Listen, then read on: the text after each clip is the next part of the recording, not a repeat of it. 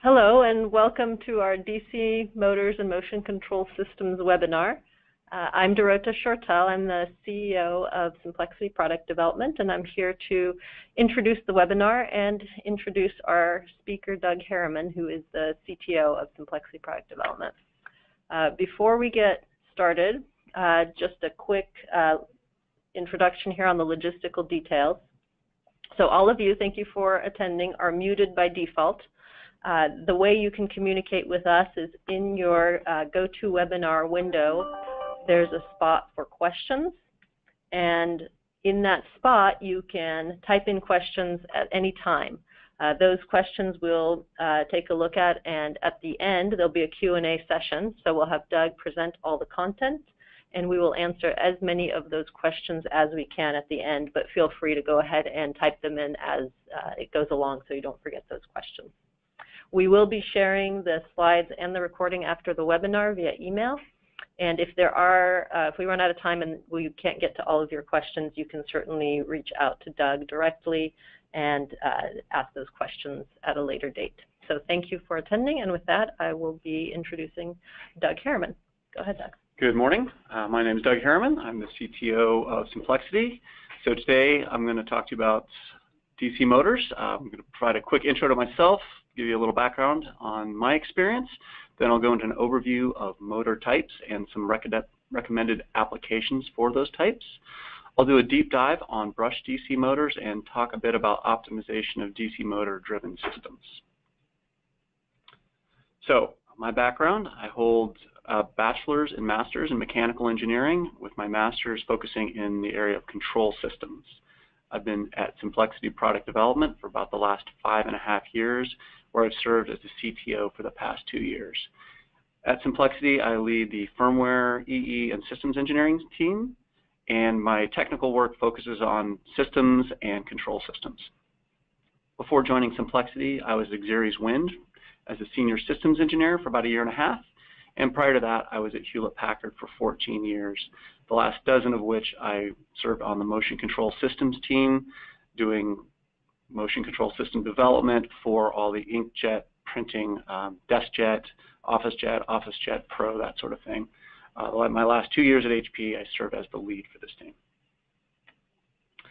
So the goals for today, I'm uh, here to help you understand a bit more about which motor technologies work well in which types of applications, and then provide a deeper understanding of DC motors so you can effectively select and use them. And I'll do that by getting into um, a simple motor model for DC motors, and then we'll look at using that model to solve some real-world design challenges. So first up is motor types and recommendations. So there's lots and lots of different types of motors in the world today, uh, but there's really only three motor technologies that are applicable to high volume or higher volume products. Uh, the first of these is the brushless DC motor. This is typically the most expensive type of motor. It's ideal for applications that are wear sensitive. So because it doesn't have brushes, which are a wear element, it's really good for applications that either require high life or high speed. Brushless DC motors are simple to drive both algorithmically and electronically for velocity control, but require more complex drive electronics if you need to do position control. There's two major construction types for brushless DC motors. The first is the outer rotor. These are typically a lower cost version of the motor that can be good for high volume applications. Uh, they're typically using things like fan motors, spindles for laser printers or disk drives, and drone rotors. So the, uh, the upper picture there is a, a typical drone rotor motor. These motors have high inertia due to their disc-like form factor, so the fact that the rotor is on the outside, uh, that, that leads to a higher rotary inertia. And that makes it good for constant velocity applications or those where velocity ripple is a bad thing. Um, this high rotor inertia helps smooth out ripple. The other type is the inner rotor. That is typically a higher cost design. It's most common in commercial and industrial applications. It's typically uh, constructed for smooth torque generation, so more time and energy is put into making sure the magnetics generate a very smooth torque. And the cylindrical form factor allows for lower inertia. And that makes this motor better for start-stop applications where a low motor inertia is beneficial. The second common type of motor is the stepper motor. These are available in a wide range of costs and can be very, very low cost. They're pretty simple to drive. They're used in just about every cheap 3D printer in existence, and that's because you can buy chips off the shelf that can deal with the, the complexities of driving the motor, and you can simply provide them a step and direction input and get motion. They're typically pretty loud compared to other motor types. Uh, micro stepping these can help, and there is an interesting technology called field-oriented control for steppers. So that's taking field-oriented control for brushless DC motors, making some modifications, and applying that to stepper motor drive. That's not in widespread use, but it does seem like it might be growing. Uh, some downsides to stepper motors, they're typically oversized significantly to provide adequate torque margin. They're often used because you don't need feedback to drive position control, but without feedback, it's hard to assess torque margin. So people typically design these motors on the order of 2x larger than needed so that they can be confident they have sufficient torque margin. There can be issues with mid-frequency resonance, so that has to do with the driving, and at halfway through the, uh, the rated speed, they can have issues pulling out and, and getting to higher speeds.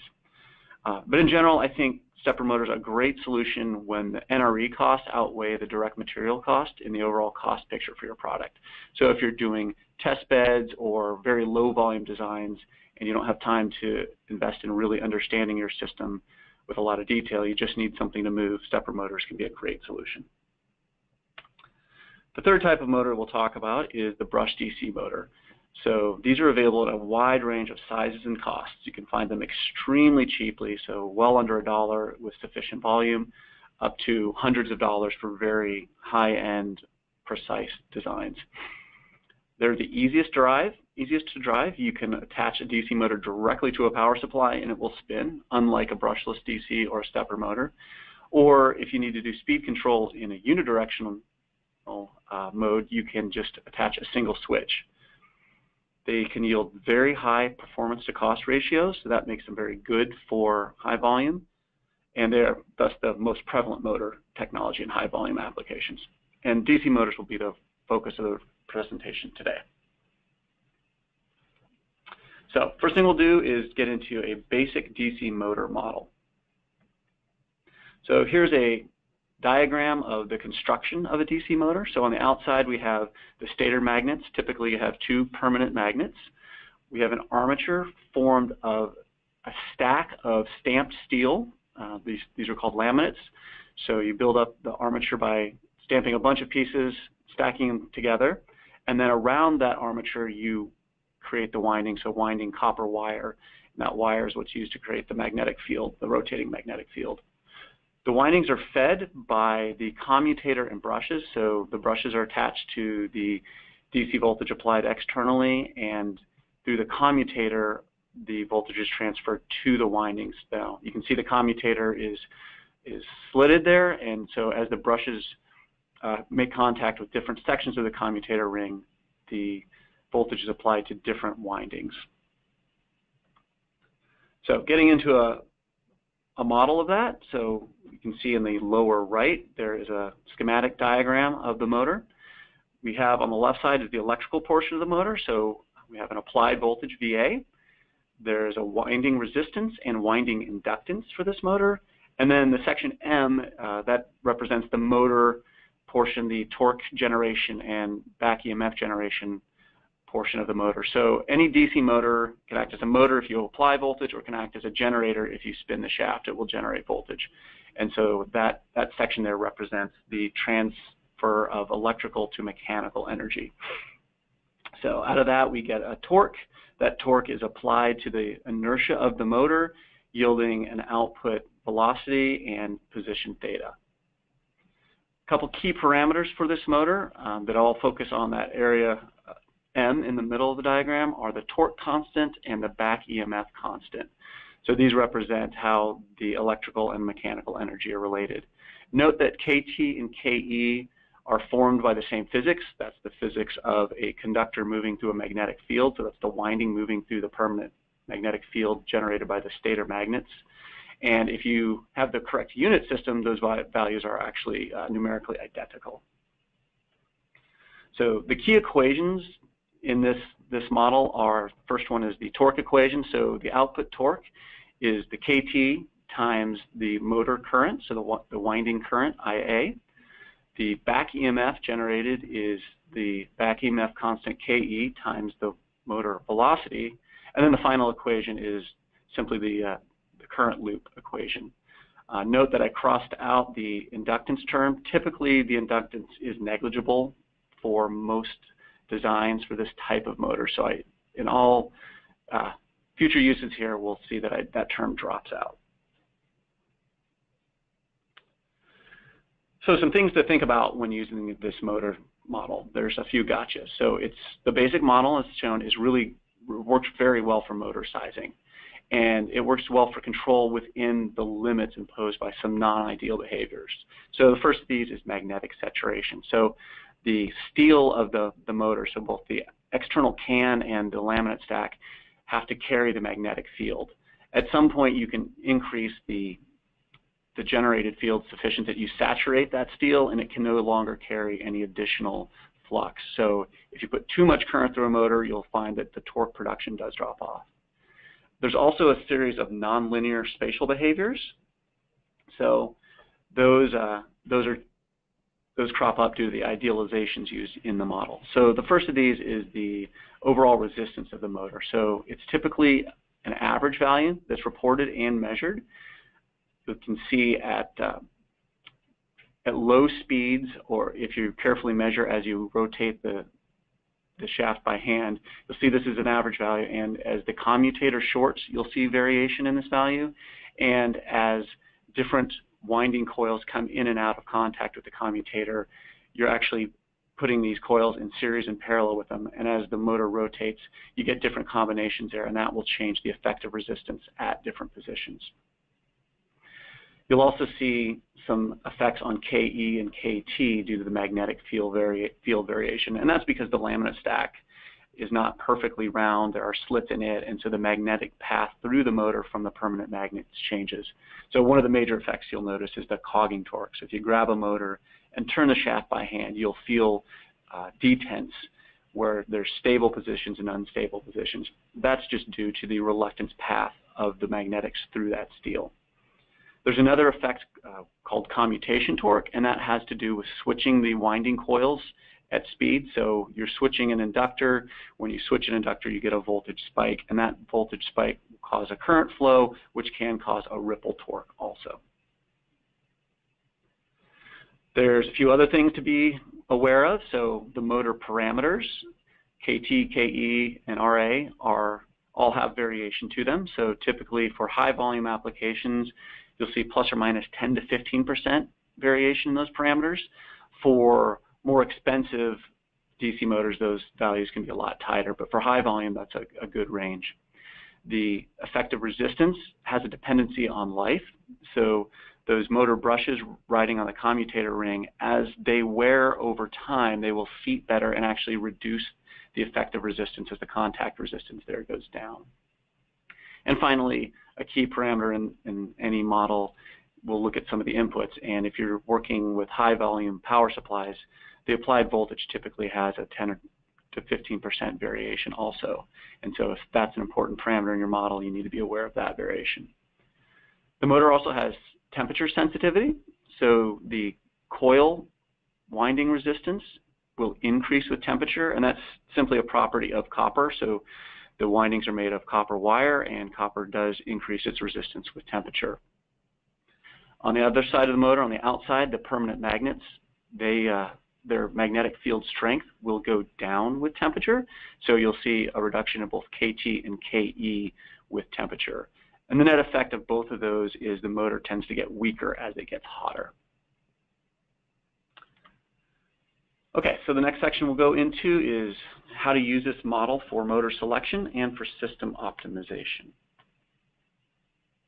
So the general problem you, for motor selection is you've been asked to pick a motor and hopefully a gear ratio to deliver a required torque and speed to the load. And I'm clearly specifying a difference between load and motor here because you can use a gear ratio to change the mapping between torque and speed at the load and the motor. So it's important that when you're asked to select a motor, you're also allowed to pick a gear ratio. You can get a lot better optimizations that way. You need to do this design in in the uh, with a set of constraints. So any real world engineering problem has constraints. Typical constraints for motor selection are maximum allowed voltage, maximum current, maximum power, and maximum temperatures in the system. So the voltage typically comes because the power supply voltage has often been selected. Current is limited both by power supply and drive electronics. Power supplies also typically have power draw limits. And then there's a series of temperatures like the motor itself, the drive circuits, power supply that will have maximum temperatures. Um, temperature is usually driven by I squared R losses in the system, which clearly is a function of current, but you may have different maximum current and maximum temperature driven time frames. So the maximum current may have a very, very small duration that it can support, whereas maximum temperature is a longer term value. So the input variables for this problem are the, the motor parameters, KT, KE, R, and J, and the gear ratio. If you're lucky, some of these other electrical parameters may be values that you can change in your design. If you're allowed to do a full system optimization, those should be put under consideration. So you might be able to pick a higher supply voltage, um, get larger drivers or a larger power supply. And when you're looking at designs, a lot of these things come in discrete values, as do motors, and sometimes you can pick a smaller motor, but it's say a larger driver, and while you're spending more on the electronics, you save more than that in picking a smaller motor, and you, get, you can drive an overall cheaper system. So the typical process for selecting motor when not using model, as I've seen it, is an EE has specified a voltage, and they've asked you to go find a motor that, that work with that as a rated voltage. So you go out looking at motor supplier motor curves, um, look typically looking for that rated voltage. So the graph at the right shows typical motor curves specified by a, a motor supplier. Uh, they're always this shape. Often they'll have the same graph on motor after motor, and they just change the labels on the X and Y axes. So the important line here is the blue line that goes from the no load speed down to the stall torque. And the general problem is to pick a motor such that the torque speed operating point lies below that line.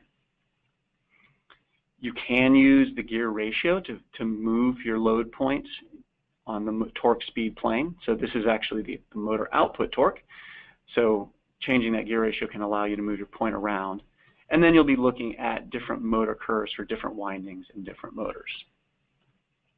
So the issues with this technique are it can be pretty difficult to compare different designs, so you kind of have a point on a plane as opposed to any graph relating the designs.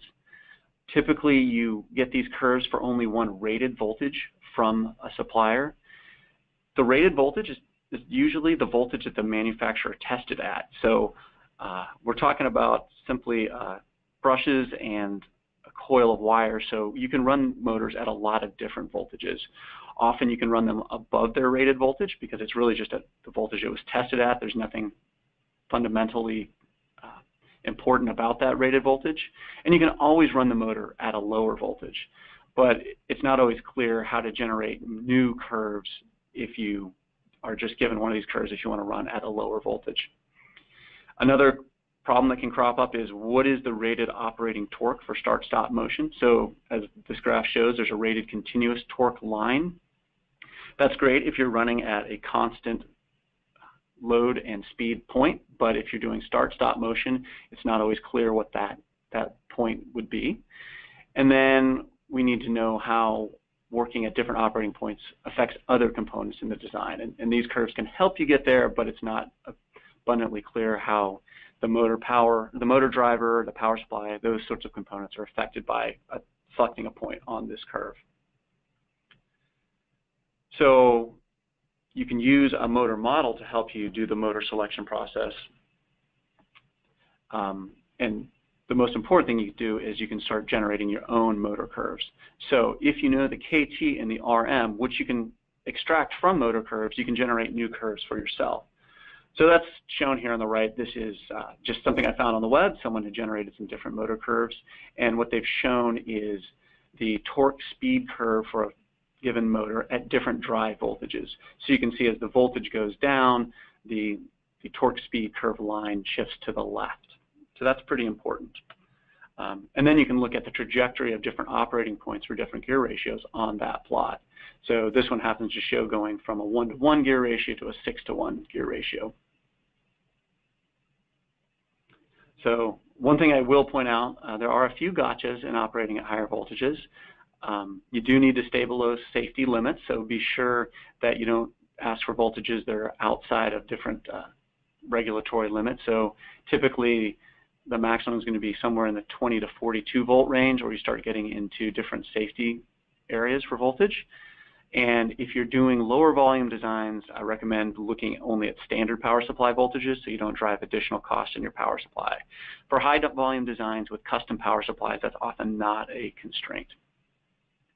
One other thing to be aware of is some motors come with a varistor ring. So this is a ring, ring that's soldered on to the commutators, or not the brush, but the, the commutator ring in the motor, and it's used to limit the EMI output of the motor. So as the motor windings are switched in and out by the commutator ring. You are switching an inductor which can drive high voltages and cause arcing between the commutator rings, which is will generate a lot of EMI. So a varistor ring, a, which is a variable resistor, can be used to shunt that current to the other coils and drastically reduce the EMI output of the motor.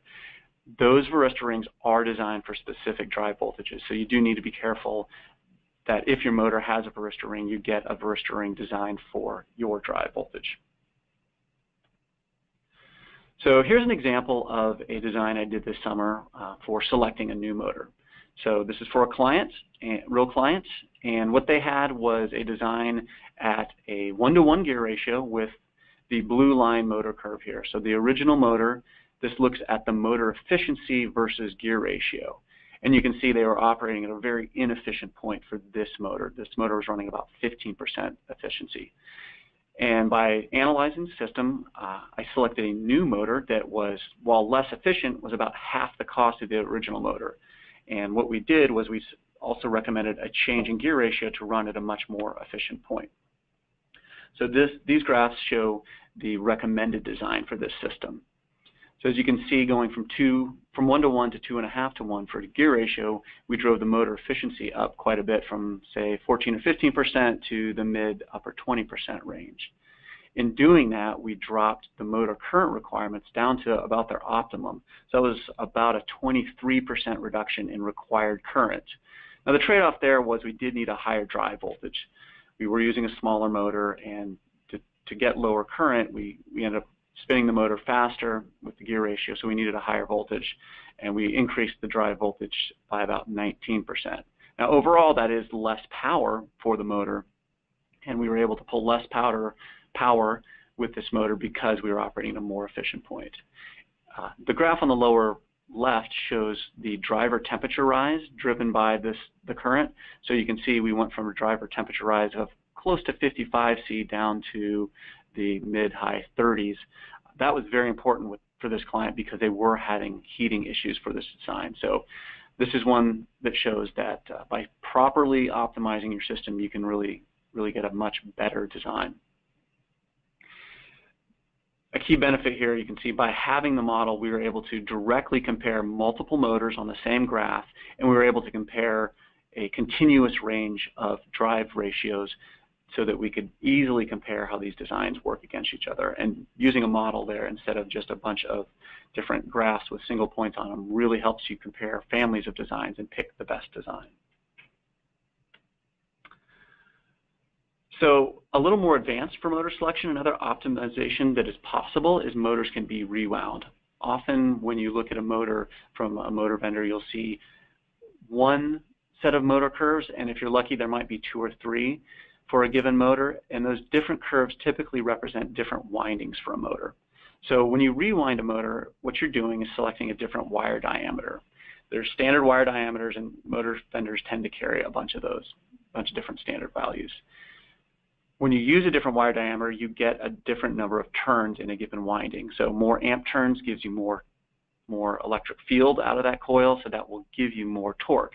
The trade-off is using a smaller smaller wire diameter to get those amp turns is you've got more length of copper, which means you have a higher resistance. So when you rewind a motor, basically what you're doing is you're getting a new resistance and torque constant, and of course, back EMF constant too. So you're basically changing the impedance matching capabilities between electrical and mechanical domains for this motor. It should be noted that this does not change the motor efficiency, but you are changing the characteristics such that you can get either a motor with more torque, uh, which tends to run, is used in slower applications, or you can wind it to run faster with less torque. The change for the supplier is really not that big a deal. They have to change the programming on the motor winder and they have to load in the different uh, wire diameter. So for low volumes, it's it's unlikely you'll get to do this, but if you have high volumes, motor vendors typically will do this for you, and really at high volume, it should not affect the cost of the motor at all because it's just a programming change and loading a different wire diameter. Uh, a key thing to understand with rewinding a motor is there's a parameter called the motor constant that relates the motor torque constant to the winding resistance. And it's this Km that controls what you can do when you rewind a motor. So Km, the motor constant, is constant across a given motor size and technology. So for a given motor, as you change the winding diameter, wire diameter, you get a different KT and RA as related by this Km. So you can see how those two will play off against each other. Now, while I, when I say it's constant for a given motor size and technology. Clearly it's for a given motor size, and the, when I say technology here, I'm referring to both the motor type, so a brushless motor, a stepper motor, or a DC motor. They all, you can calculate a Km for each of those. And the other key parameter is the magnet type. So if you go to a higher power magnet, like going from a ceramic magnet to a rare earth magnet, the Km will change there. So this is this motor is constant only within a given size, motor, and magnet technology. Note that in general, the motor constant does increase with size. The, the trade-off there is that you also get a higher rotor inertia as you increase your motor size. And the, the graph on the right shows the motor constant and the motor inertia, how they're related through a series of different motors that I've worked with through the year. You can see it's kind of a second order effect there. So going to a larger motor often helps, but it can also cause you to dump more power into accelerating the rotor inertia. Okay, moving on, we're going to look at a couple other model uses. So the first thing we can do uh, that's pretty cool with the model is we can use it to do a real-time temperature estimation of the motor. So this is figuring out the motor temperature in real time without putting a, temperature sensor on the motor itself. It do, you do this by estimating the power dissipation from a model and then using a heat transfer thermal model to figure out how the motor temperature changes with time. To do this, you do require some sort of feedback on the motor performance, so either position or velocity feedback will work, and you do need an ambient temperature measurement, so typically an ambient temperature sensor of some sort. Um, that's because we're estimating the temperature rise in the motor, not the absolute temperature directly. Now the good news is uh, there's lots of low-cost temperature sensors that are easy to put on a main PCA. It just can be more expensive to route a temperature sensor to the motor, which is why this may be beneficial. Um, in application, we've seen this type of system able to estimate the motor temperature within plus or minus 3 degrees centigrade. A really important thing to note about using the model to estimate motor temperature in real time is that the estimate is load invariant. So the way this system works is you're looking at the power that goes into the motor and you're looking at the power that comes out and noting that the difference between those two is the power dissipated in heat. And the way these systems work is you're, you're doing that in real time and you're not making any assumptions about the load. You're just looking at power in versus power out. So loads can change on you and the model doesn't lose any accuracy. So this shows an example of some performance of a system like this uh, that I implemented when I was back at HP on this given printer. Now I'll note that this data here anyone could take. All you need is to put a thermocouple on a motor and uh, measure time, performance, uh, print speed. So there's no proprietary data being shared here, but it does provide a nice example of the performance of the system. So what you're seeing here in the graph is the red line represents the motor temperature And the blue line represents performance, so it's time to print a given print job that we were using for characterization. So we were running this real-time thermal estimate of the motor temperature and using that to implement a temperature controller on top of the normal controller for the motor speed uh, for the carriage, moving the print cartridges back and forth in this printer. What you see is the motor temperature ramps quickly as the system starts running and then steady states out to around 53 degrees C.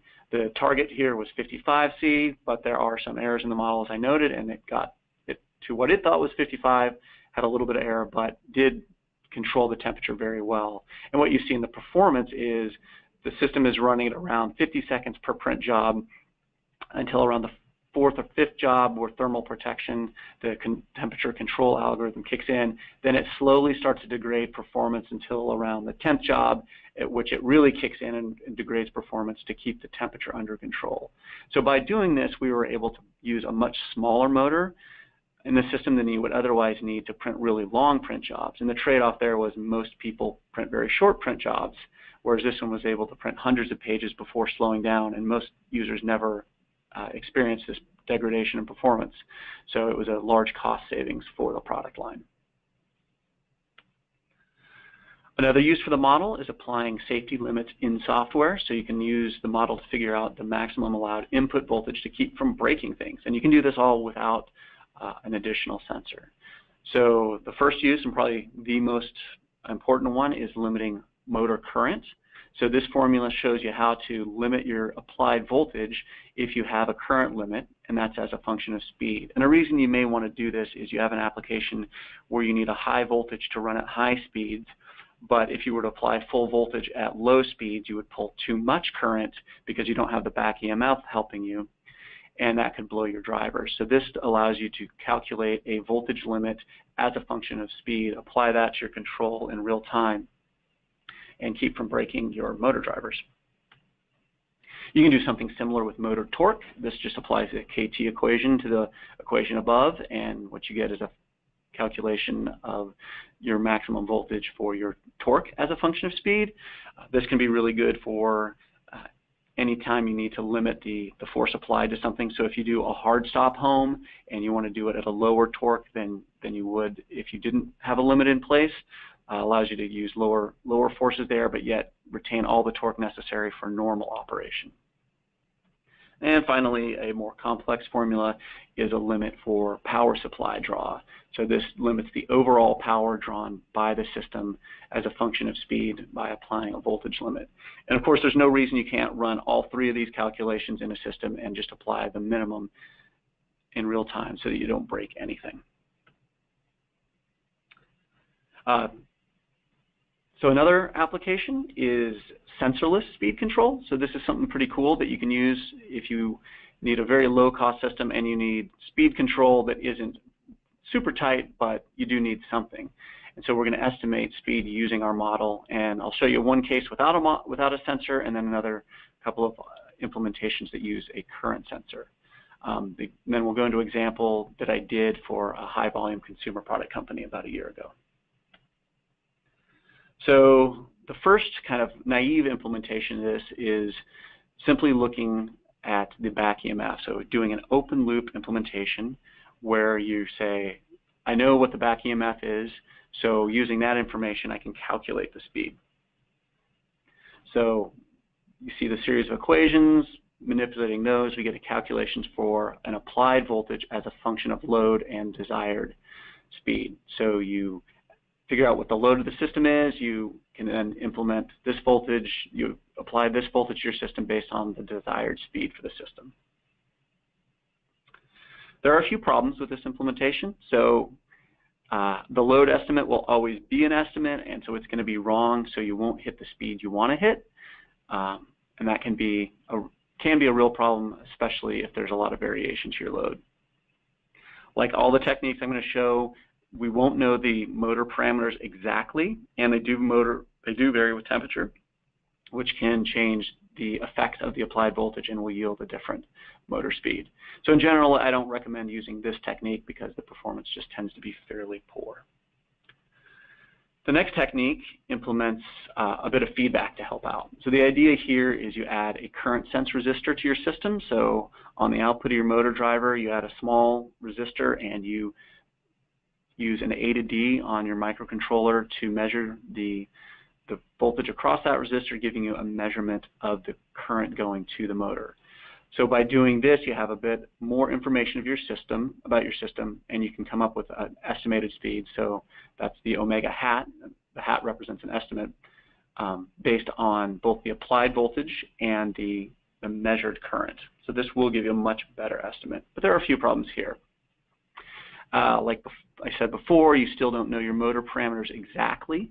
Um, although with this system, you can do some measurements on the production line with additional sensors that allow you to better estimate those unit by unit and get, can get a lot better performance. Do note though that the any errors in the back EMF constant directly scale your speed estimate, so that will generate estimation error. Another important point here is that any noise on your current measurement will lead directly to noise in your velocity estimate. And you'll see current estimation noise, or sorry, current measurement noise, mainly due to commutation of the motor. So the motor, since it's spinning and commutating, the motor coils uh, asynchronously to any measurement that you do, you're going to get uh, some some noise on this reading. There's going to be a, quite a bit of variation on that. Uh, there can also be issues with incorrect sampling. You do need to be, take care to make sure that you sample the current during the PWM on time. Most microcontrollers have uh, hardware that will support you to do this. So this graph shows a, a, simulation of the technique presented in the last slide for motor speed control. So the idea here is there's a we're using the motor speed estimation technique to come up with a speed estimate and then using that for speed feedback control. So the red line represents the target speed, so we're ramping up from zero to a little over 200 radians per second, and we're trying to run at a constant velocity then. So the blue line represents the estimate of the algorithm presented, and the black represents an actual. Again, this is all simulated, and what I've done here is thrown in a 5% error on the back EMF constant, and you can see how that directly manifests in a 5% estimation error for the motor speed. The next thing I did in the simulation is I applied some noise to the motor current reading in the model. And you see there what that does is it causes a large amount of noise to be, get reflected onto the estimated winding speed. Uh, it's hard to see, but there is a little bit of ripple then coming through into the motor speed because that noise is getting fed back through the controller and causing the input to change somewhat. So in general, this, this technique works okay, but there's uh, one more update we can do to this algorithm to get a little better performance. So the next update to this is using an observer. So an observer is a common technique used in advanced control algorithms to provide additional information about the system performance. So we're going to, in this system, not estimate velocity directly, but we're going to estimate current and use a, an error term of the measured current versus the estimated current to update our velocity estimate and then use that velocity estimate to update our current estimate. So you end up with a little feedback loop here and we use an estimator gain, K estimate, as the value that provides our updated estimate. So essentially what we've done is added an integration step here and by integrating the noisy reading uh, IA we've reduced the overall noise in the system. Now, we have done nothing to address parameter error, estimation error, but we do reduce the noise. And so applying this technique to the same simulation shown in the last slide provides this graph. And you can see there's a pretty drastic reduction in the noise of the estimated velocity, which then smooth out the actual velocity a bit more and also helps you if you need to make decisions on your velocity, like crossing a threshold speed, that sort of thing. Removing the noise is very helpful for those sorts of algorithms. So given the results of the simulation, I implemented this system in hardware. So the hardware setup is, there's a photograph on the right, and the general description is I used the Simplexity Snap mechatronics board. So this is a, a board we've developed internally to use as a reference design and for bringing up systems for clients and doing different sorts of development work. It consists of a microcontroller, uh, various motor drivers, and other inputs and outputs.